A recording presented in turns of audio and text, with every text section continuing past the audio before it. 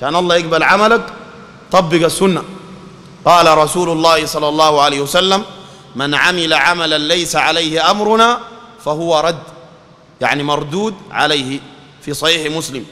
وفي البخاري ومسلم من أحدث في أمرنا هذا ما ليس منه فهو رد. اتبع السنة.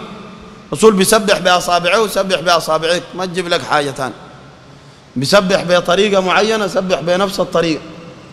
بيقول أشياء معينة أقول نفس الأشياء زي ما بتمشي للدكتور بيديك أربع حبات ويقول لك كل ست ساعات أبلع حبة وبتطبقها بحذافير. يعني كان ولده قال له أصيل ما بخش البطنك شحن واحد. قول له لا هذا دكتور يا أخو عندي جرعة معينة وأثر معين وكذا. طيب الرسول عليه الصلاة والسلام قال لك تسبيح معين. زي ما المسجد عنده ذكر معين ما بجوز تقوله وأنت داخل الخلاء. والخلاء عنده ذكر معين ما بجوز تقوله وانت داخل المسجد فكذلك بقية العبادات تابع النبي صلى الله عليه وسلم. في كل شيء في الظاهر والباطن. وما تشتغل بكلام الناس ودي نقطة أخيرة أختم بها شفت البشر ديل اللافين برا ديل ما تشتغل بهم. والله هس يا أخي لو شاب من الشباب حضر له حفلة قلد الفنان يخلوه ساي قلد المصارع.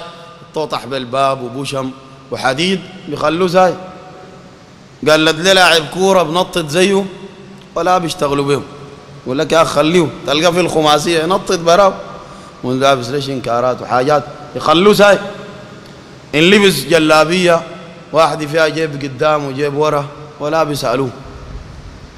لبس فنيلة ونص اليد وبنطلون تحت ضيق وعمل حاجات فوق وسلسل.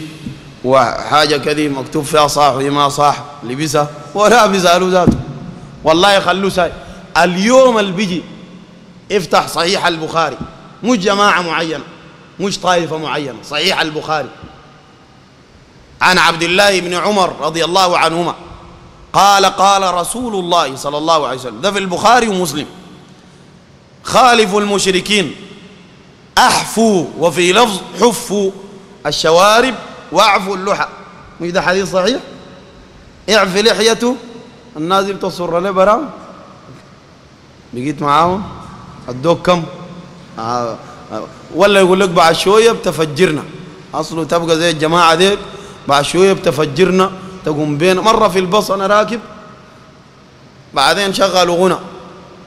مشيت قدام للمضيف قلت له أسمع في حاجة مفيدة. بأسلوب طيب أنا ما دار احرجه قلت له في حاجة مفيدة تشغل لنا محاضرة ولا قرآن ولا كذا قال لي شيء مفيد ما عندنا. إلا الغنى ده بينفع معاك ولا ما ينفع؟ قلت له خلاص أنا بدي الناس دي النصيحة كده توقفوا. قال لي خلاص اديون وقفت الناس شافوا علامة الجودة بتاعتي دي. لا وزوا في امامك ورا كبار وفي ناس. قال إني داير أفجرون ولا تابع للقاعدة ولا داعش ولا شيء. قلت لهم يا جماعة السلام عليكم ما في شيء. قالوا عليكم السلام. قلت لهم يا جماعة الله قال في القرآن والرسول قال في السنة صلى الله عليه وسلم. وبدأت لهم أول شيء بدأت لهم بالموت. الموت وقلت لهم الموت ده فيه ثلاثة حاجات. خروج السكرات بتاعت الموت مؤلمة وسماع البشرى من ملك الموت وكذا وكذا ولا وأول مرة تشوف ملائكة قدامك. وإما تمود عليه حسن خاتمة ولا سوء خاتمة. المهم تكلمت لهم كلام زي ده. وفي ناس الكلام ما دايرينه. لكن لو جامع كان بيمرق.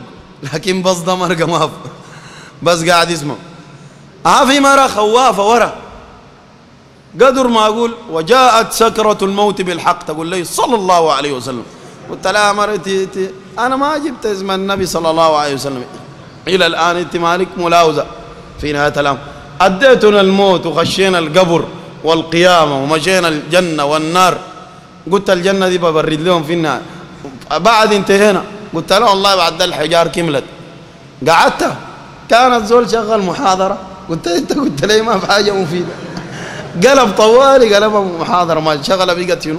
حاجة ثانية ولذلك يا جماعة الزول يتبع السنة ما يلتفت لكلام الناس. بيستفزوك ويحاولوا يسخروا بك وكذا.